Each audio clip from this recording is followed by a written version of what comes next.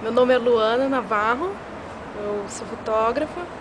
Escolhi o Mirante Marumbi, que fica aqui no Memorial, bem no centro de Curitiba, no Largo da Ordem. Eu escolhi esse lugar porque hum, eu gosto da vista, que ao mesmo tempo que eu estou no centro da cidade, confusão, um monte de prédio, é um, é lugar que eu me retiro e eu vejo as coisas um pouco de fora, assim.